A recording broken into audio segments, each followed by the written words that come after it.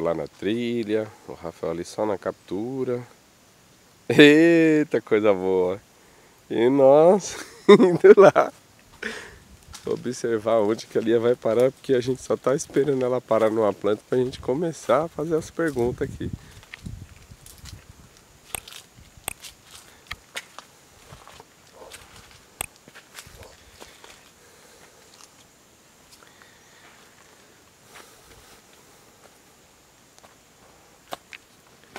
Você sabe que planta que é essa aqui, ó? Hum? Coloca aí nos comentários se você sabe. Olha as folhas.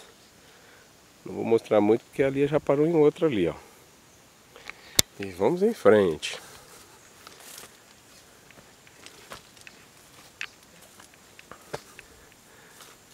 Boa tarde, Lia.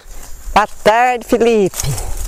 O pessoal tá adorando essa série das o Jardim das Vovós. O Jardim das Vovós não pode faltar. Isso. Esse aqui, ó. Caramba, ali. E agora? Que folhinha feinha, né? Então. Na época da época. Ah, mas ela tem uns veios ali, ó. Tem. Bem bonito nela, né? Tem. Caramba, ali, já tô sentindo aqui o cheirinho daqui, viu? Tá, né? Já descobriu o que é? Olha, tô próximo, viu? Estas. Vamos ver se o pessoal conhece mostrando as, a árvore aqui dela. Na outra ali eu caí na pegadinha, mas eu tô mostrando a árvore certa agora. É, né, agora Lia? tá certinho.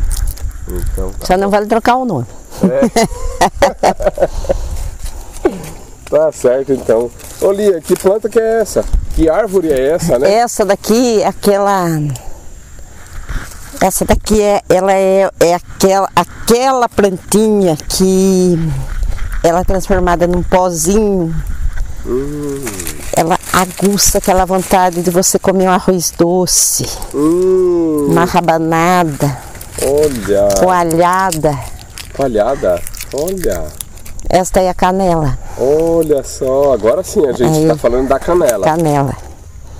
Ela, agu, ela dá um, um, um cheirinho maravilhoso na, e um sabor. E um dos motivos dela ir parar nos doces, porque ela equilibra o, o, equilibra o açúcar. Hum, Então nenhum condimento ela vai para uma comida se ela não tiver uma função. Só que a gente não sabe disso.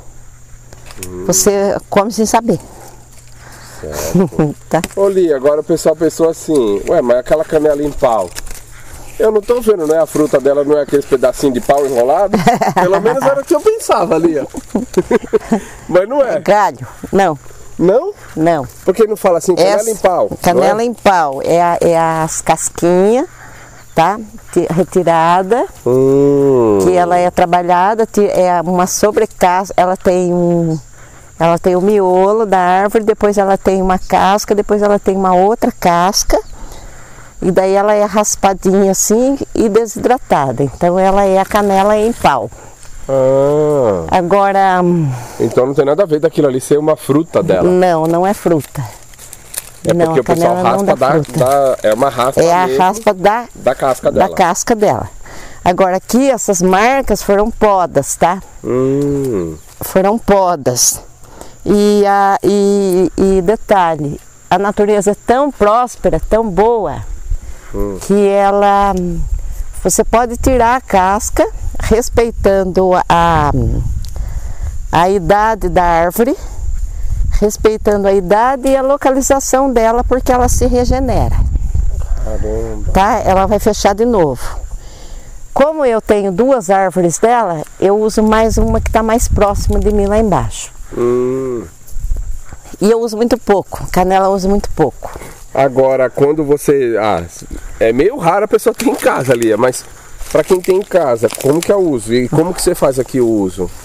Você pode usar, pode lava bem lavado, esteriliza bem as folhas, né? Porque aqui está exposto. Os passarinhos fazem, fazem ninho, eles se divertem aqui na- nas árvores da, da caneleira.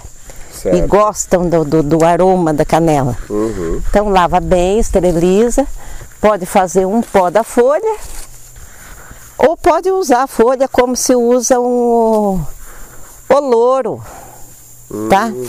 Como se usa o louro, só que detalhe, isso aqui é usado em pratos doces, né? Em sobremesas, não em, em prato salgado que ela não combina. Mas é que alguém gosta, né? É. Agora, Lia, teve um pessoal também que ficou bastante espantado quando falou assim, você falou assim, ó, que a canela, muita gente antigamente usava como se fosse o anticoncepcional. Anticoncepcional. É da mulher da é mulher, da mulher natural. Caramba. Tá? Então ela pode ser pode ser usado como anticoncepcional e para os homens tomar chá de, de, de, folha, por exemplo, às vezes eu faço chá e coloco folha de canela, coloco folhas de, de outras plantas, não vai afetar em nada. Hum. Mas para a mulher ela, é, ela ajuda como, como, como anticoncepcional. anticoncepcional. E aí você falou que você lembrou lá atrás, um pessoal que morava lá na roça. É. Aí perguntaram pra ela, mas como é que você faz? Você não tem uns 20, 30 é. filhos aqui. Aí Tomava chá de canela todo dia. Tem uma árvore gigantesca no quintal dela. Agora, eu, é, pra que, que serve, Lia? Que o pessoal fala assim, é, esse daí seria o chá quente? O chá quente, quente. E aí as pessoas às vezes falam assim, é, ó, é a teu corpo frio, eu preciso é, de chá de canela. Chá de canela. Além de tudo, que é, embora ela seja anticoncepcional, ela hum, quebra a frigidez, hum. a impotência é, sexual feminina. Caramba! Então ela é uma, um estimulante sexual feminino. Eu lembro ali uma live que você fez que as mulheres falaram assim: eu nunca toquei nesse assunto porque eu, eu, eu achava que não existia e que eu tinha um problema, mas que como ninguém falava, eu achei que não tinha solução. Então é quer muito... dizer que existe a impotência feminina. Existe muito mais do que, a, do que, a, do que se imagina. Porque é, é um assunto que o pessoal não comenta muito. Mas é um problema. É um problema. Aí eu gostaria de saber o seguinte, Lia a pessoa, se ela periodicamente ela for tomando chá, isso ela vai tratando essa frigidez? Vai tratando. Pode também se fazer chá de folha, se ela tiver ah, folha. O chá da folha. Chá de folha, pode fazer chá de folha para banho. Caramba, também. Também. Também.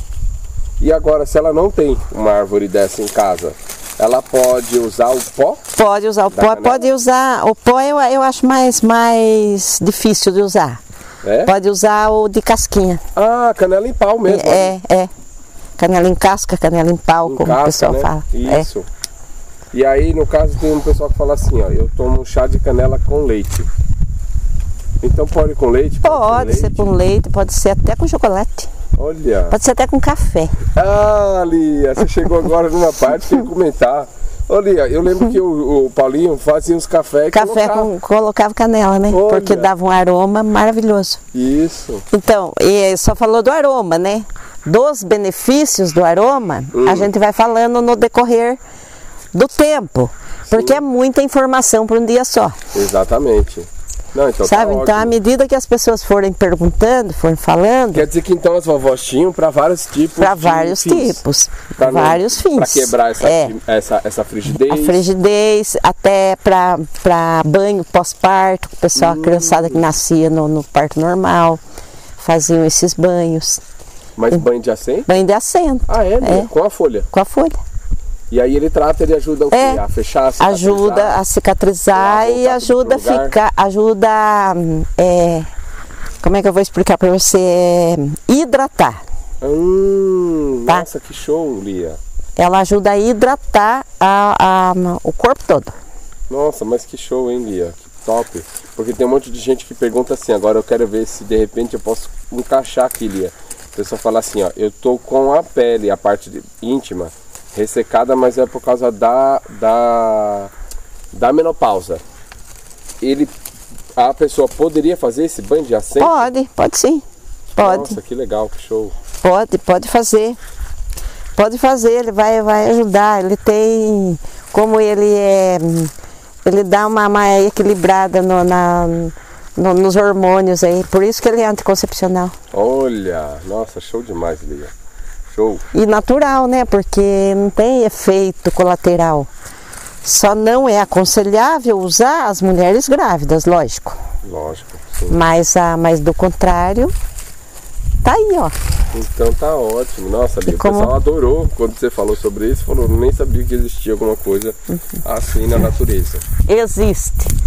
E uma das coisas que as pessoas às vezes deixam, às vezes de, de manter um romance, um relacionamento, ou um- uma, um companheirismo, é por causa desses problemas que elas não. Por causa da frigidez, da impotência feminina que elas não sabem onde nem como tratar. Pois é, e tem até vergonha até de perguntar. É. Quando você fez a live, muita, Muita gente depois, per- falou depois assim, tá, falou. mas como seria É. o tratamento? Então pode ser com apenas algum chá. Pode, pode ser com alguns chás. É. Eu, vou dizer uma coisa para você, não, jamais eu vou desmerecer o trabalho de alguém. Eu valorizo muito o trabalho de todo mundo.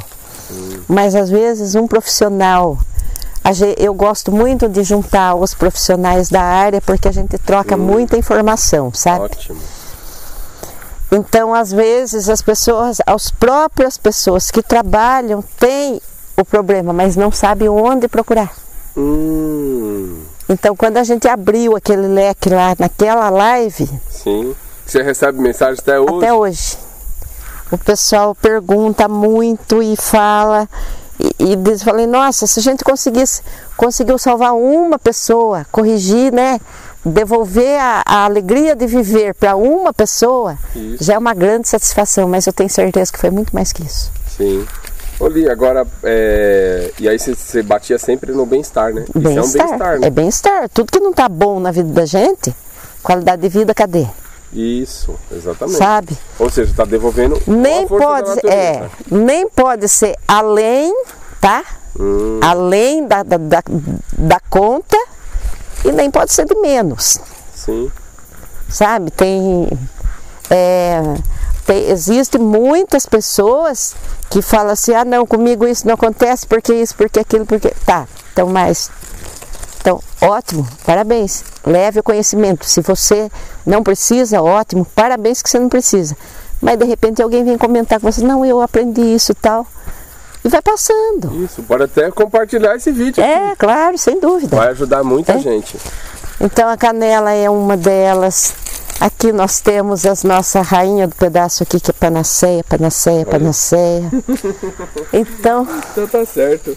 Ô Lia, é, vamos esperar agora o pessoal perguntar, porque com perguntar. certeza vai ter mais coisas aí pra frente. vai, como eu falo, olha, é, às vezes a pessoa fica constrangida de perguntar um problema feminino para um homem. Isso, Uma coisa assim de, de mulher para mulher é diferente. exato. Então eu deixo bem à vontade.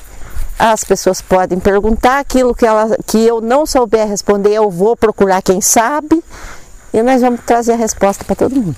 Ótimo. Lia, eu só queria mostrar se aquela folha cor-de-rosa é ela ali. É. Se a pessoa falar Olha que assim, linda, né? Não pode ser, Felipe. Tem uma rosa. Já tem até um pé desse, mas tá nascendo uma flor. É uma flor não, é a folha. Folha. Caramba, É a folha novinha dela. Que folha linda que ela tem. E pode se inscrever, Lia? Pode se inscrever. perguntado se pode se inscrever. Pode se paga pra se inscrever. inscrever. Não, não paga nada não.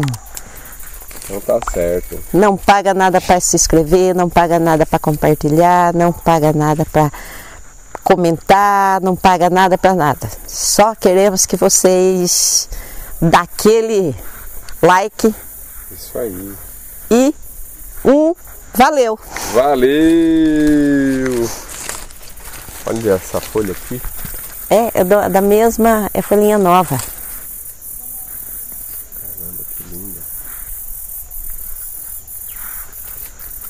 Meu nome é Antonilda, sou aqui do Rio de Janeiro. O que eu tô achando do curso? O curso é maravilhoso. Ele mostra coisas assim que eu nunca imaginei de conhecer, sabe?